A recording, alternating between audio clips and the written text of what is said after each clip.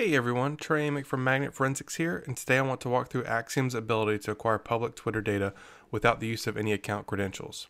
Running Axiom 3.0 or later will start and process as normal, setting my location for my case file, then selecting evidence sources.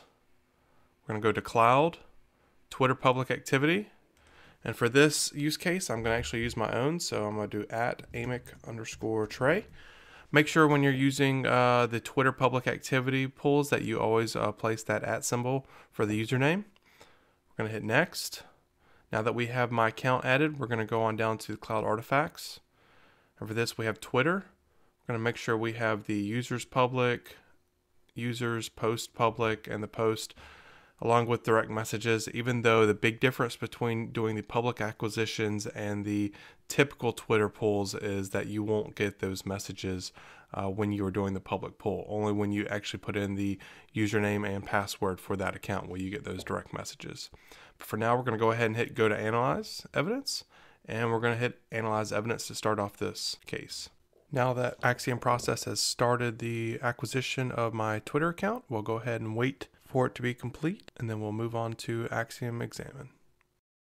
Now that we've acquired my public Twitter account information, let's take a look at the information that was available without the need of a password.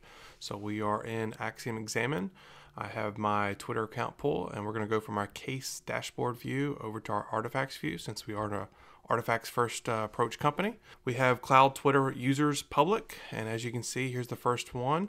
It's my screen name with the bio. And if we scroll down the details pane, we can see my bio, how many friends I have, my location, my like count, how many pieces of media I've published, uh, along with my web URL and when my profile was created. So a lot of good information right there, right off the bat.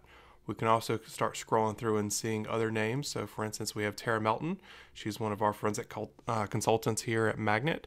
And as you can see, we can scroll down and see that she is uh, following my account as well. So, this is great for your investigation if you're trying to track down other people who are following uh, your potential suspect. If we move on over to Twitter posts that are public, we'll select that. And as you can see, here's uh, one of my posts that I posted uh, and mentioned Heather Mahalik uh, telling her about the Dry Tortugas National Park uh, down off the Keys. So lots of good information once again that we can start digging through to see what all has been published, who all have been mentioned in their post, uh, as well as potential locations.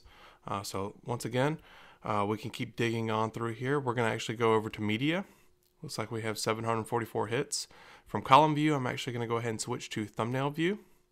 And now we can start seeing people's profile pictures. We can also potentially see pictures that I've published to my own account.